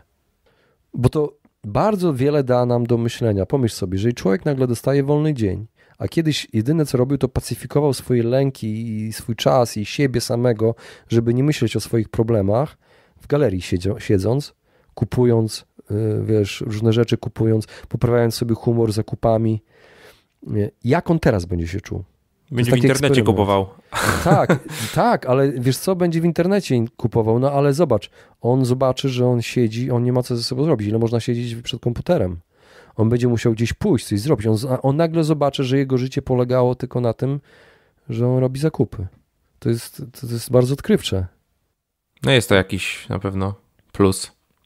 No oczywiście, ja uważam, że y, nie jestem za takimi odgórnymi zakazami, ale uważam, że każdy człowiek sam sobie powinien robić jakiś taki odpoczynek, wiesz, od, od wpadania w ten takie zakupy. Zastanowić się w ogóle, po co, po co coś robi, wiesz, bo my często robimy jakieś rzeczy automatycznie. Po prostu z automatu robimy, no bo zakupy się robi, no bo tego, chodzimy gdzieś tam, bo to już z automatu robimy. Tak. No ja akurat y, jakoś niespecjalnie e, chodzę po galeriach i nie, nie sprawia mi to specjalnego, specjalnej radości, ale łapię się często na takim kompulsywnym kupowaniu książek, że wiesz... Ja. tak, to jest taka choroba. Może wiesz, że jest takie słowo, tylko nie pamiętam, japońskie, tak. na, na te osoby, co kupują książki i nie kończą ich czytać. Mają po 5-10 zaczętych. Tak, Ludwik, Ludwik Siadlak właśnie wspominał, że też to ma. E, okej, okay, a starasz się teraz żyć po prostu z il minimalną ilością rzeczy, takich, które posiadasz? Wiesz co, kupuję tylko książki, tak jak ty. I rzeczywiście mhm. dawno nowych ubrań jakoś nie kupowałem, noszę. Y, mam ich dużo, więc mogę zmieniać je y, często, ale wyrzuciłem sporo. Zrobiłem decluttering, tak zwany, czyli odśmiecanie. Wyrzuciłem rzeczy, które wisiały u mnie po wiele lat w szafie i w szafkach.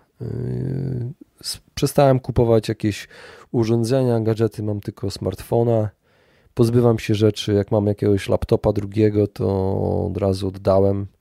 Akurat mojej siostrzenicy oddałem i a, kiedyś, a kiedyś gromadziłem. Kiedyś twierdziłem, o nie, może się przydać, a to może się przydać, a ten kabel się przyda, a tamten kabel się przyda. Teraz i znalazłem, wiesz, jakieś setki kabli od Nokii, jakichś starych, wiesz, w ogóle, to, to niesamowite, wiesz, to taki przykład tylko daje, nie, ale wyobraźmy sobie, ile my rzeczy gromadzimy, na co, na wypadek czego, że wojna wybuchnie, nie wiem, słoiki ludzie gromadzą. Jest takie określenie hordersi w Stanach, nie? To są ludzie, którzy e, zbierają różne rzeczy. To jest choroba. Tak, no, no, no ja tych kabli mam dużo. No zastanów się, zastanów się, czy je użyjesz. No, odpowiedz sobie na pytanie. Ostatnio wyrzuciłem jakieś, ale z bólem. No właśnie, to jest ból. Na początek boli, a potem czujesz szczęście. No właśnie, no właśnie. E, Okej, okay, a powiedz mi, chciałem jeszcze chwilę pogadać o podcastach. E, powiedz mi, jak w sumie w krótkim czasie udało ci się zbudować jeden z najpopularniejszych podcastów w Polsce. Bo ile to? Dwa lata? Trochę ponad dwa lata? No dwa lata, tak. I tutaj jaka jest twoja mm, powiedzmy metoda, czy twoje podejście do nagrywania? Kogo zapraszasz i o czym gadacie? Wiesz to niezależnie od tego, co ja powiem, każdy i tak będzie miał swoje zdanie na ten temat. Jedni mówią, e, a Radek, wiesz co, widzę, że tam dobrze ci idzie, to dlatego, że masz dobry głos. ja nie wiem, czy się wtedy nie obrazi, znaczy, że jestem taki głupi, ale głos mi pomaga. ale wiesz co, ale, ale ja, słaba, ale ten głos ta, nadrawia. ale głos ci, tak, bo Radek to głos, wiesz, tak, ludzie, każdy ma na coś, wiesz, swoją, swoją mądrość, on wie lepiej, więc ja nie wiem, czy jest sens, żebym ja tu mówił, wiesz, każdy tak będzie wiedział lepiej. nie, żartuję, słuchaj, nie obrażam się na to, każdy ma prawo do oceny, różne ma też swoje intencje związane z tą oceną, bo tak naprawdę, kiedy kogoś oceniamy, to też w pewnym sensie pokazujemy, co się z nami dzieje psychicznie. Yy, tak uważam. Nie przejmuję się tymi ocenami.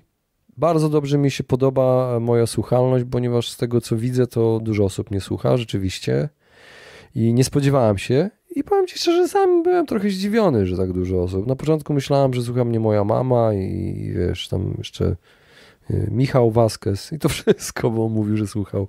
A potem zobaczyłem, że wiesz co, na jakimś evencie social media, e, czwartek już dwa lata temu, słuchaj, kiedy się przedstawiłem z widowni, pytali kto czym się zajmuje, to z sali kilka osób podniosło ręce, że mnie słucha. I dla mnie to był szok. Potem w tym samym tygodniu poszedłem na spotkanie Toastmastersów, pierwszy i ostatni raz i poznałem jedną z dziewczyn, która też przyszła tam i się przedstawiając jej pierwszej dziewczynie, powiedziałam, że robię lepiej teraz. Ona powiedziała, że mnie słucha. I dla mnie to był drugi szok. To był po prostu taki tydzień, wiesz, przypadkowych trafień na ludzi, którzy mnie słuchają. I ja wtedy zrozumiałem, kurde, to jest naprawdę medium, yy, które yy, było moje. Wiesz, ja po prostu chyba przypadkiem dobrze trafiłem. No, jakoś może intuicyjnie, wiesz, wyczułem, że to jest moje medium. E, ten podcasting, ale to też ma związek z tym, to trafianie na ludzi ma związek też z tym, że ja chodzę w te miejsca, gdzie słuchają ludzie podobnej mentalności, bo ludzie, którzy słuchają podcastów, to są nietypowi ludzie, to są ludzie rozwojowi. No, ja sobie nie wyobrażam wiesz, dresiarza, który wrzuca słuchawki i wrzuca podcast, wiesz, bo dla niego to są tak rozwojowe treści, że on po pięciu sekundach wysypki dostanie. Więc yy, wiesz, wiesz o czym mówię. To jest, to jest nisza do zagospodarowania w takim razie. To jest nisza, to jest niesamowita, wiesz, to jest dla ludzi naprawdę wyjątkowych. Uważam, że słuchacze podcastów to jest elita tego kraju. Robili badania ostatnio e, w Stanach e, pod względem częstotliwości słuchania podcastów, czy w ogóle, czy, czy słuchasz podcastów, czy nie, a e, zarobki. I jakby słuchacze podcastów no, są dobrze zarabiającymi ludźmi. Oczywiście. Mnie słucha bardzo wielu szefów w firmie, ja wiem, bo ja dostaję wiadomości przecież. Zaproszenia dostaję do różnych miast.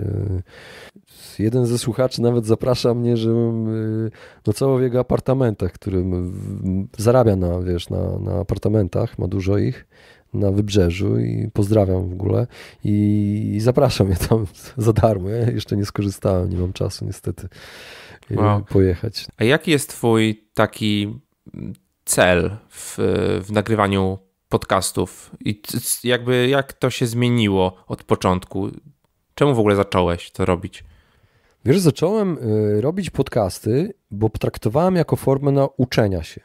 Uczenia się marketingu. Dla mnie pociągały właśnie te technologie. To, co ci powiedziałem wcześniej.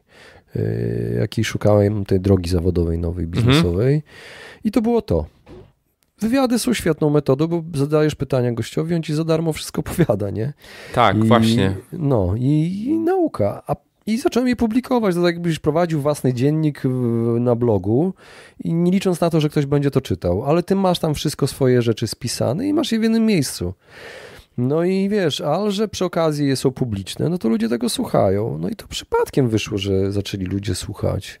Okazało się, że trafiłem jakoś, wiesz, i to nie jest tak, że było zamierzone, zaplanowane i systematycznie działałem cały czas poprawiałem, wiesz, jakiś tam y, kurs na YouTubie obejrzałem, skorzystałem, byłem na takim, na takiej konsultacji u jednego z podcasterów przez godzinę, nic nie zrozumiałem, on bardzo profesjonalny jest, ale ja nic nie pamiętałem z tamtego, bo to jest dla mnie za wysoki poziom był, ja sam wróciłem do domu, założyłem jakoś ten podcast z problemami, tam trzy dni czekałem, aż iTunes mi tam zaakceptuje.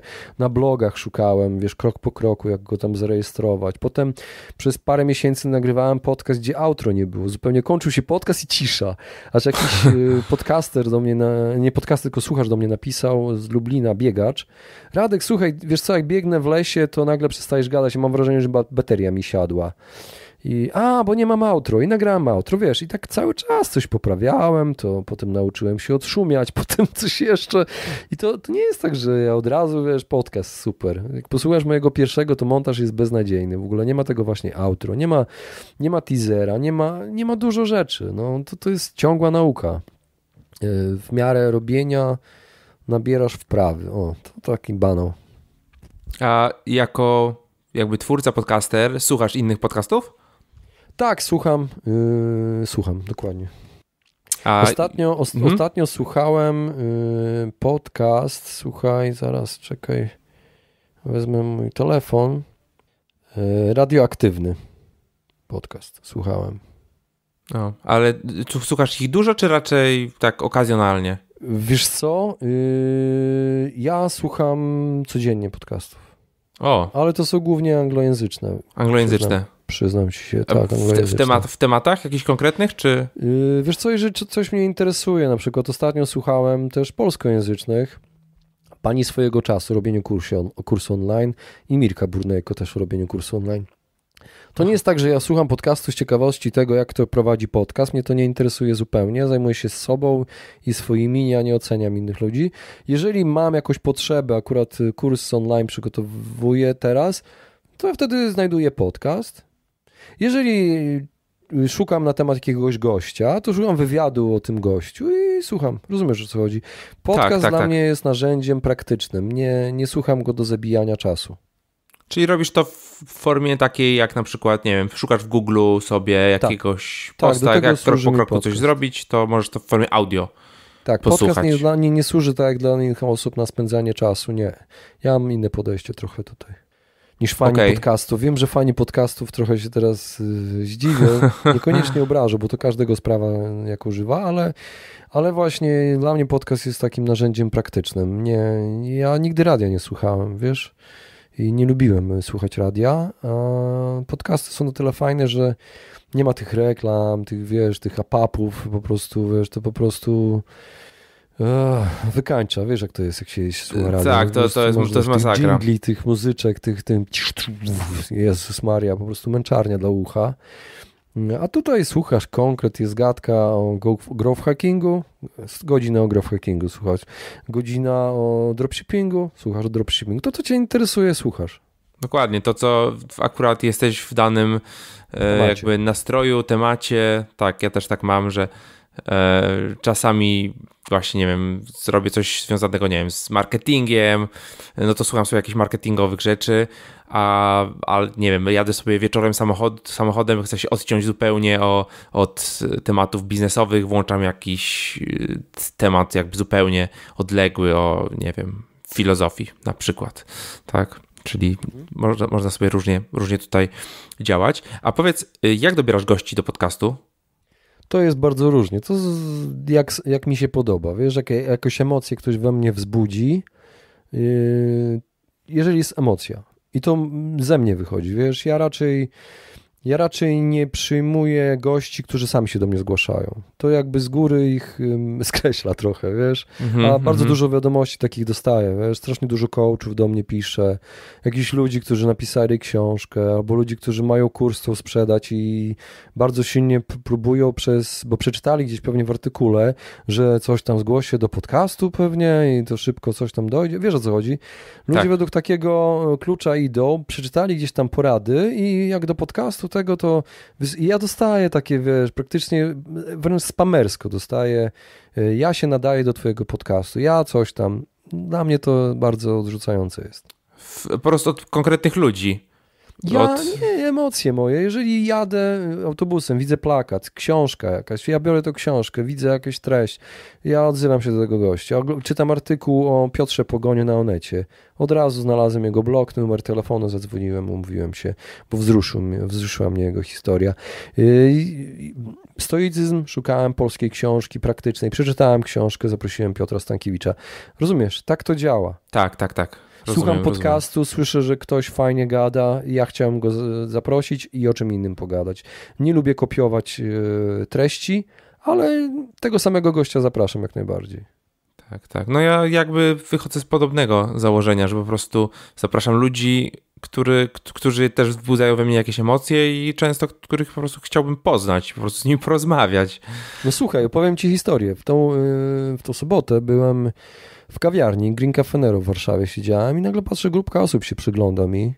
Młode osoby, dwadzieścia parę lat, y, studenci i y, w końcu, ja myślę, co jest tam, mam coś na twarzy, coś z moją fryzurą nie tak, y, a wiesz, że nie mam fryzury żadnej, więc, więc zastanawiałem się, dlaczego się tak gapią nam, po prostu się gapili, wiesz, i tak dziwnie, dziwnie spod oka i po jakimś czasie podchodzi do mnie dziewczyna, cześć, jesteś Radek Budnicki? Mówię tak, Radek, ja słucham twoich podcastów, zacząłem od ciebie słuchać podcasty. Okazało się, że to jest y, bardzo fajna dziewczyna, która przyjechała z Krakowa, y, Kasia Cieśla, która, którą pozdrawiam, która y, uprawia wspinaczkę i przyjechała na zawody wspinaczki do Warszawy z kolegami, z całym teamem i powiedziała, że zawsze słuchała mnie i, i ona zaczęła opowiadać mi swoją ciekawą historię. Powiedziałam, że usiadła ze mną, zaprosiłem i zaczęliśmy rozmawiać. Dowiedziałam się, że ona ma niesamowitą historię, bo ona wspinając się w Hiszpanii spadła z 25 metrów i, i przeżyła i miała trudną drogę do, do Polski, powrotu, karetką. W ogóle ciekawa historia. Ja zaprosiłem do podcastu za miesiąc.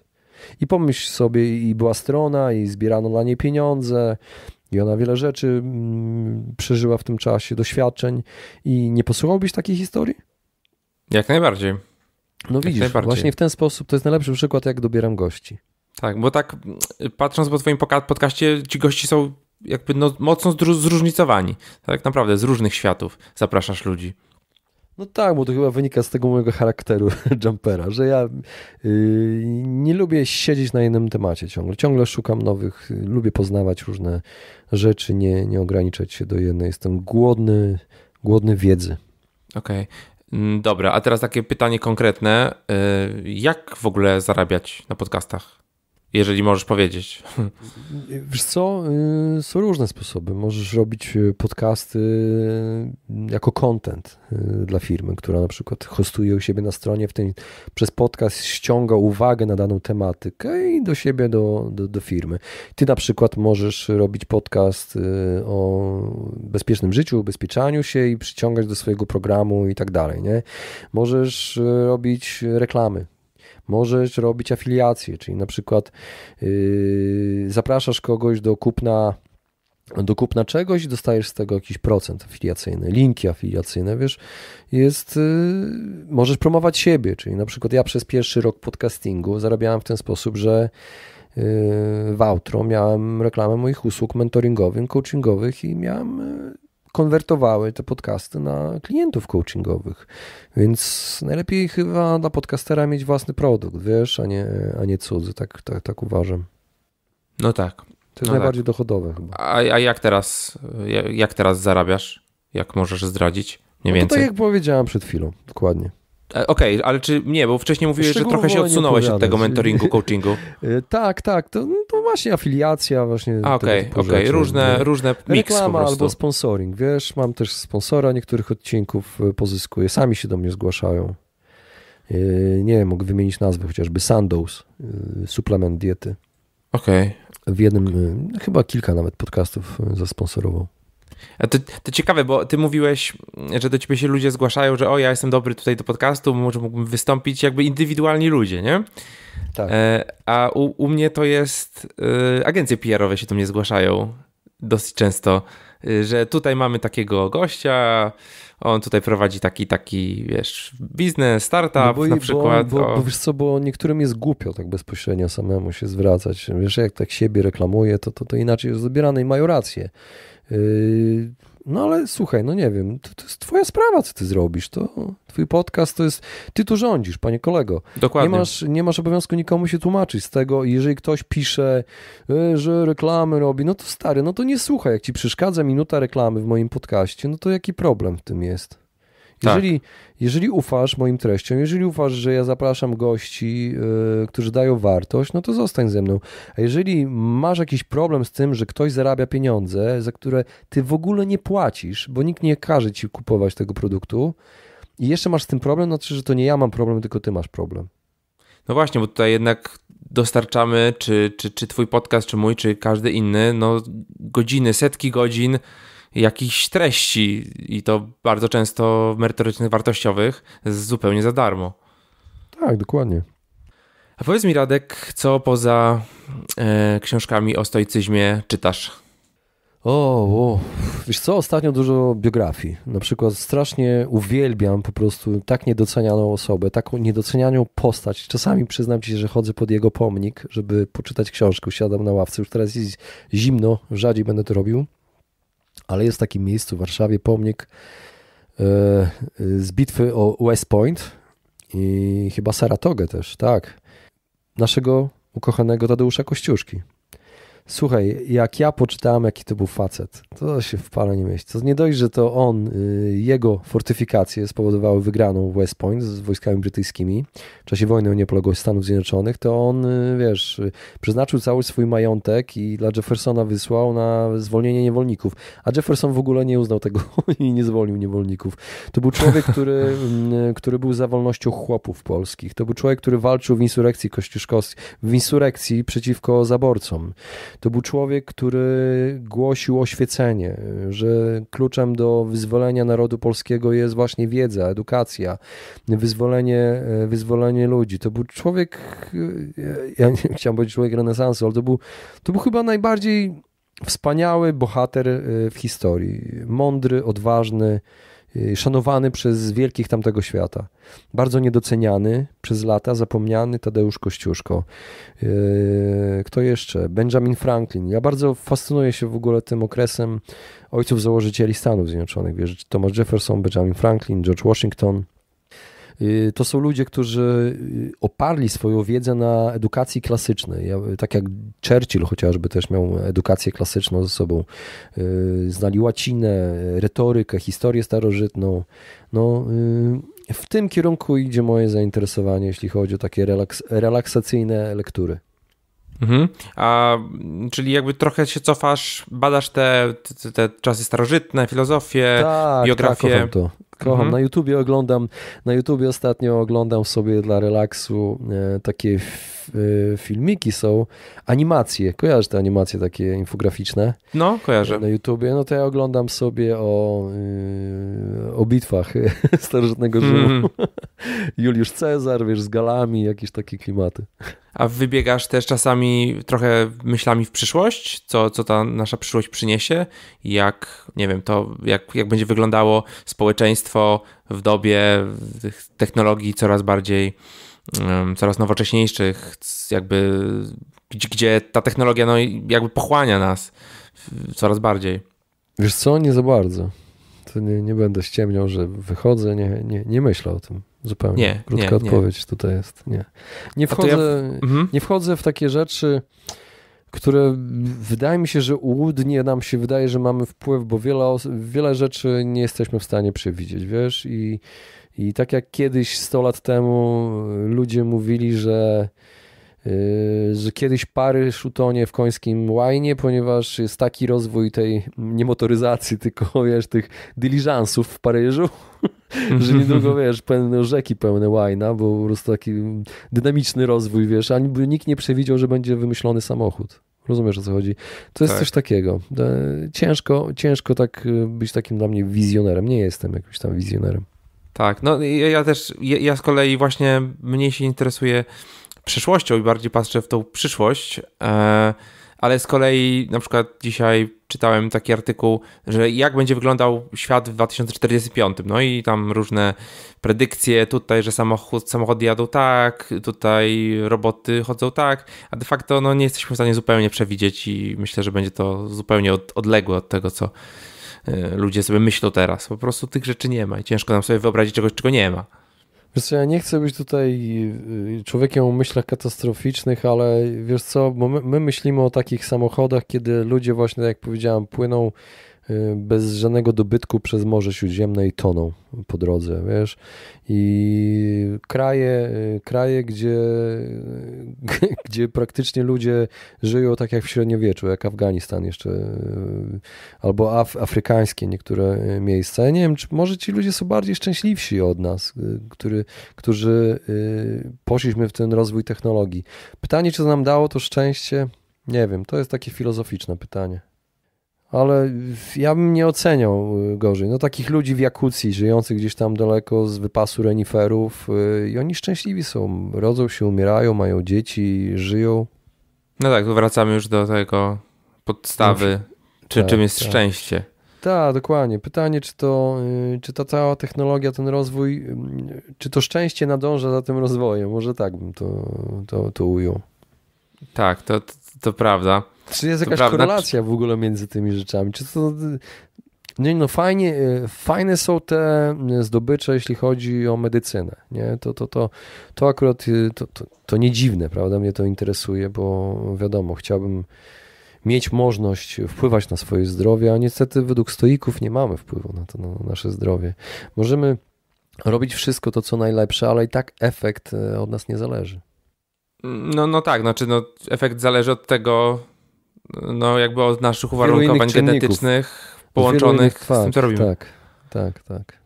Dlatego na przykład e, teraz tacy powiedzmy dietetycy, czy ludzie, którzy z, są związani z takim ruchem teraz długowieczności, którzy próbują poprawiać swoje życie na tyle, żeby jakby zwiększać tą, tą długość życia, no mówią, że ciężko jest w ogóle stosować się do jakichś diet, bo każdy z nas jest inny i jedna dieta może zupełnie inaczej zadziałać na, na drugą osobę. Mimo tego, że teoretycznie, obiektywnie rzecz biorąc jest dobra, poprawna. E, no ale już jesteśmy w stanie wykonywać tak zaawansowane badania genetyczne, że mm, możemy zobaczyć, co jest dla nas dobre, co jest dla nas złe. Oczywiście to są rzeczy niedostępne dla takich szarych ludzi, bo są po prostu bardzo, bardzo drogie, ale jakby no to zmierza w dosyć ciekawą stronę, jeżeli chodzi o, o medycynę. Ale zauważyłeś, powiedziałeś o ludziach, którzy interesują się długowiecznością. Mhm. Zauważyłeś, że dzisiejsze społeczeństwo to jest takie społeczeństwo i takie życie, to jest takie życie trochę pod kloszem, takie ucie długowieczność, uciekanie od cierpienia, e, od bólu. Mm, a to jest nieodłączna część naszego życia. Y, to są rzeczy właśnie.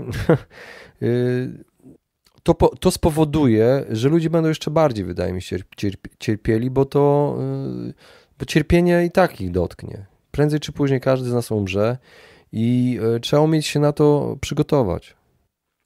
No, umrze albo nie umrze, zobaczymy, co przyszłość przyniesie. No dobra, to ty jesteś tutaj, wiesz, futurystą, więc wiesz, to ja nie będę, wiesz, wysuwał jako ekspert, bo nie, nie znam się na tym, ale jeżeli masz lepsze informacje ode mnie, to chętnie posłucham. Ja, wiesz, mam nadzieję po prostu. to jest kwestia nadziei. A powiedz, masz coś takiego, co, co ci sprawia trudność? Czym jesteś niezbyt dobry? No pisanie, tak jak mówiłem, raczej pisanie. Wydaje mi się, że słowo pisane u mnie nie jest y, za dobre. A robisz transkrypty yy, nie, podcastów? Co ty? Nie. Co ty? Znaczy w sensie nie ty konkretnie, tak? Ale czy, czy zlecasz? Nie, no bo... znaczy nie dostałem, mam trochę tych moich solowych y, porobionych. Mam, mam. Okej, okay. no bo tutaj jakby możesz jeszcze. wykorzystywać ten content swój, nie musisz pisać, tak? Po prostu ktoś mhm. Na, czy transkrypt, robi transkrypcję tego, co ty mówiłeś, tak? I masz tak, od tak, razu tak, post nie, na bloga mam, mam, ale je dostępnie, udostępnię prawdopodobnie yy, w ramach mojego kursu te transkrypty dla osób, które zakupią też kurs. A myślisz, yy, no właśnie, odpal, odpaliłeś kurs. I dla kogo, dla kogo jest ten kurs? Nie, nie odpaliłem. Ja go nie robię. odpaliłeś jeszcze? Na razie zbieram zapisy chętnych na informacje o kursie. To nie jest tak, że ktoś pisze, poda maila, to od razu kupuje kurs. Nie, po prostu dostanie informacje i prawdopodobnie, jako że podał tego maila, dostanie też zniżkę yy, na kurs. Więc o, ja się już ktoś... zapisałem. A, podałeś swojego maila, tak? Tak, tak. No to, no to dostaniesz prawdopodobnie zniżkę i, i, jak będzie kurs, ja myślę, że w listopadzie go gdzieś skończę. To nie jest tak, że ja go tak, wiesz, codziennie robię, po prostu um, kiedy mam chwilę czasu, siadam, nagrywam lekcje i, i dołączam. To będą lekcje w formie audio, tak jak ja tworzę podcasty, bo, bo, bo, to są dla moich słuchaczy, więc raczej wolą słuchanie. Y, ja jakoś nigdy nie mogłem się przekonać do wideo. Robię te wideo krótkie, ale raczej nie, nie, chyba nie nadaje się na youtubera, ale nie muszę być wszystkim i wszędzie. Na Instagramie robisz wideo. Takie krótkie jakieś, wiesz, to nie, ja nie, nie, nie jestem jakimś tam youtuberem raczej. Mam YouTube, mam tam jakieś filmiki o stoicyzmie, nagrałem chyba 7 czy 9 odcinków telefonem, zmontowałem telefonem to wszystko. Czasami jakieś zapowiedzi robię wideo, ale raczej audio wszystko jest. No oczywiście będą PDF-y, więc dla ułatwienia jakieś ćwiczenia w PDF-ie. I to wszystko, więc No bo myślę, kurs będzie o stoicyzmie, bo tak w sumie nie, nie, nie powiedziałeś. Między znaczy gdzieś tam to wcześniej między mknęło. Między innymi. Między Czyli innymi. Kto, kto jest twoim docelowym odbiorcą? Każdy? Wiesz co, wydaje mi się, że to jest dla, yy, dla każdego kurs, ale to jest raczej dla takich ludzi, którzy, yy, którzy nie są zupełnie, bo są tacy ludzie, którzy nie trzeba na siłę, wiesz, pomagać. To jest dla ludzi, którzy nie muszą się podno e, podnosić, bo oni są szczęśliwi z życiem, nie mają, nie mają ze sobą żadnych problemów, nie mają, yy, wiedzą co chcą w życiu robić, to wydaje mi się, że i, i, robią to i są szczęśliwi. Wydaje mi się, że to nie jest dla nich kurs. To nie jest dla każdego jednak kurs. To jest dla takich ludzi, którzy jeszcze nie wiedzą, nie wiedzą jak, jak są nieodporni, boją się, e, różne sytuacje ich przerażają w życiu i to jest dla takich osób film, e, kurs. Jasne. Eee, Okej, okay. to już tak zbliżając się ku końcowi, masz coś takiego, co chciałbyś przekazać naszym słuchaczom? Jakąś myśl, pytanie, podsumowanie? Nie, przede wszystkim bardzo dziękuję za zaproszenie. Y, co może, mam nadzieję, że to, co powiedziałem, już było dla nich e, przekonujące. Jeżeli ktoś zdecyduje się na e, na więcej, e, na więcej wiedzy zapraszam jeszcze raz. Przepraszam ten kurs, ja cały czas tak mówię, nie chciałem, żeby tak wyszło, ale zapraszam do słuchania moich obu podcastów, bo robię też podcast e, po ludzko o pieniądzach, o, o którym nie wspomniałeś, nie, nie pytałeś, ale mm -hmm. robię też e, o pieniądzach. To zupełnie inne podejście do finansów i do pieniędzy, takie bardziej zdroworozsądkowe. Bez jakichś ściem dotyczących zarabiania yy, i bardzo polecam, bardzo go polecam. Wyszły też, yy, słuchaj, fiszki mojego autorstwa yy, przy współpracy merytorycznej z Union Investment. Te fiszki takie, które są w księgarniach, w Empiku, takie małe karteczki, kojarzysz? Jak, kojarzę, kojarzę. A co jest na tych fiszkach? Tak, o finansach. To są takie lifehacki finansowe. Radosław Budnicki możecie znaleźć. E, o finansach Fiszki. Także e, zapraszam Was do Empików, do księgarni, w internecie też można znaleźć na fiszki.pl, możecie kupić. E, także to takie pierwsze wydawnictwo, które pojawiło się moje, mojego autorstwa przy współpracy właśnie z Unionem. Brawo. A myślisz gdzieś tam w swojej w, dalszej przyszłości o książce? Wydaniu książki? Są na razie, tak, mam jakiś tam kontent już stworzony, ale na razie skupiam się właśnie na tym kursie, wiesz, ale w przyszłości być może. Super, super. E, ok, w takim razie zapraszamy do Lepiej Teraz, po ludzko pieniądzach, na fiszki, na kurs. E, pod, podlinkujemy, podlinkujemy pod tym odcinkiem. Tyle e, no i no i chciałem Ci serdecznie podziękować za, za przyjęcie zaproszenia. Miło było Cię poznać. Ostatnio, jak się poznaliśmy, no i dzięki za podzielenie się tą no, bardzo, bardzo ciekawą dla mnie wiedzą. Dobrze, dziękuję bardzo. Pozdrawiam. Dzięki, cześć. Dzięki Radek za bardzo, bardzo interesującą rozmowę. Mam nadzieję, drogi słuchaczu, że ten odcinek Ci się podobał. Jeżeli tak, będzie mi bardzo miło, jeżeli podzielisz się nim w social mediach, jeżeli zostawisz komentarz lub jeżeli zostawisz recenzję na iTunes. E, przypominam, że notatki znajdziesz na startupmyway.com łamany na 19, jak 19 odcinek. No i przypominam również o zapisie do listy mailingowej. Jeżeli interesujesz się przejściem z własnego, yy, przejściem z etatu do własnego biznesu, albo już taki krok wykonałeś, będę miał coś bardzo, bardzo fajnego dla Ciebie i jak będziesz na liście, dowiesz się o tym pierwszy i dostaniesz specjalne bonusy, yy, niedostępne po prostu dla, dla innych osób, więc warto warto to zrobić. Po zapisie również dostaniesz mm, wideo o tym, jak ja opowiadam o moim przejściu z etatu do, do biznesu i jak to wszystko wyglądało. No i możesz się zapisać na startupmyway.com łamane na lista. Link znajdziesz również w notatkach do odcinka. I to już wszystko na dzisiaj. Do usłyszenia. Cześć!